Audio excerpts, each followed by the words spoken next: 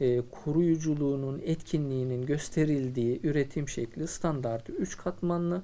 Bunu e, kesmeden de şu şekilde maskeyi elimize aldığımızda ayırıp bakabiliriz. E, onu siz maskeler diğer e, özellikleri içerse de e, fiziki e, yapısı itibariyle sık sık yüzümüzden kayacak ve üzerine dokunacağız. Dolayısıyla telinin olması lazım.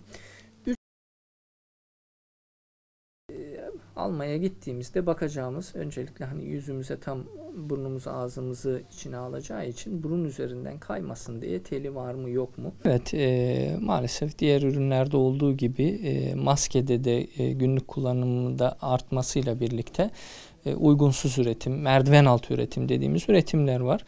Burada e, önemli olan özellikle e, maskeleri seçerken bakanlık takip sistemine e, bu üreten firmanın tabi olması ki bakanlık bunu denetleyebilsin.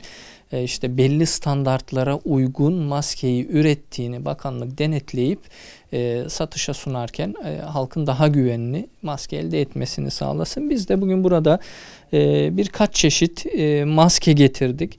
Bu maskeyi alırken öncelikli olarak neye dikkat etmemiz gerekecek? Örneğin e, bir maske elimizde e, bu maskenin e, burun kısmında tel olması lazım. Çünkü e, burada bir tane maskemiz var burun kısmında teli olmayan. Bunu taktığımızda bu sık sık e, kayıyor konuşma anında. Etkinliğini yitirmiş oluyor ve e, düştüğü zaman da kaldırmak için sık sık ön yüzüne dokunuyoruz ve e, bu sefer elimizle e, bulaşmaya neden olabiliriz. Dolayısıyla e, Tel şart. tel şart burun kısmımıza oturtabilmek için özellikle bunu koyuyoruz ve e, maskenin genellikle e, standartlara uygun üretiminde 3 katmanlı olması gerekiyor. Bunu e, biz tabi burada keserek gösteriyoruz bu katmanları. Maskelerimizde böyle 3 e, katman ama kesilmeden de yine e, vatandaşlar hani bazı maskeleri kontrol ederken bunu böyle ayırıp e, bu 3 katman içeriyor mu içermiyor mu bunu kontrol edebilir. Ee, örneğin işte burada iki katmanlı bir e, maske örneği var.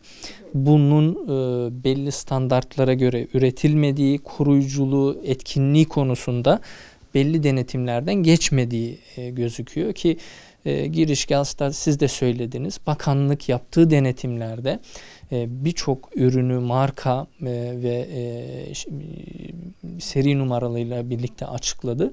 Bunların koruyuculuğunun olmadığını. Yani biz burada bir e, e, salgına karşı önlem alırken etkinliği bilinen kanıtlanmış ürünleri tercih edip kullanmamız lazım bakanlık denetiminden geçmemiş ürünlerle üretilenler e, alerji yapabilir. Alerji de bir e, ikincil bir hastalığa neden olabilir, kaşınmaya neden olabilir. Dolayısıyla bizim istediğimiz etkinlik ortadan kalkmış olur. İşte lateks içermemesi lazım, naylon içermemesi lazım, paraben içermemesi lazım.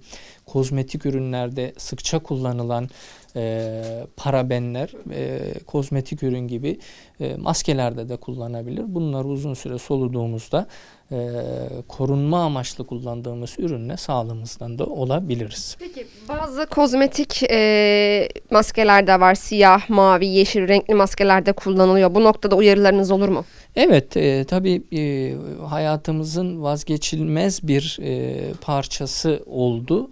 Bunu da üretici firmalar çeşitlendirmeye çalışıyor. Burada tabii ki renkten önemli olan dediğimiz gibi maskeyi aldığımızda katmanına bakmamız lazım. Dedik ki 3 katmanlı işte buradaki maskeye bakıyoruz.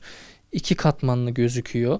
Ee, burun telinin olması lazım. Burun teli var mı yok mu? Ee, özellikle ona dikkat etmemiz gerekiyor. Yine e, aldığımız ürünün kutusu üzerinde e, standartları ve e, kontrolünü gösteren e, ibarelerin olması bizim için önemli. Peki yanlış